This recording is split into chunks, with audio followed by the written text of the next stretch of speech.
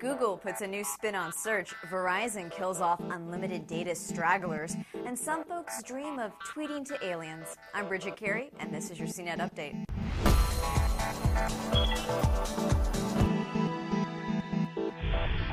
Your Google search results will now look a bit different. Google has launched the Knowledge Graph project, and it's designed to give you more information about a topic and help you find related items.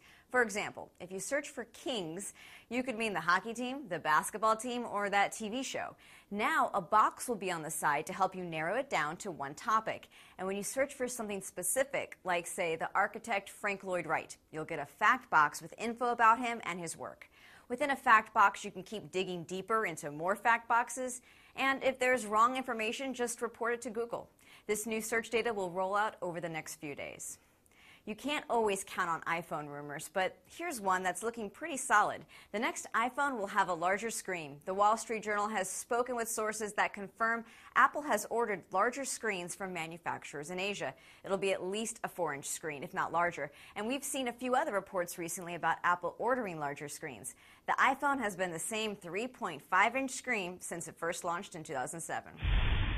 And in other stories we're watching, Verizon customers that have been grandfathered in a $30 monthly unlimited data plan will lose their unlimited data if they upgrade to a 4G LTE phone. A Verizon executive broke the news at a technology conference saying that eventually every 3G unlimited plan will be phased out and customers can move to a family data share plan. Facebook is reportedly seeking to add diversity to its current board of directors, which are all white males. Would be nice to see a woman on the board because, you know, only 500 million Facebook users are female. Scientists have been working for years to communicate with extraterrestrial life forms, but Ever thought about sending a tweet to an alien? It's an experimental art project that two guys are hoping you'll help fund on Rocket Hub. A team is asking for $8,500 to build a device that can transmit tweets to a distant planet. If they raise the money, all you need is to use the hashtag tweetsinspace and your message will be sent among the stars.